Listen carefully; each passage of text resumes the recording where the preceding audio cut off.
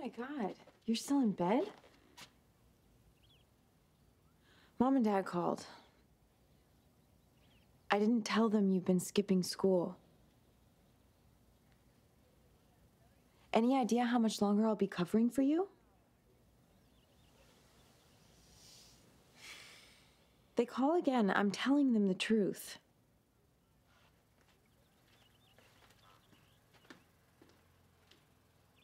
You told your mom?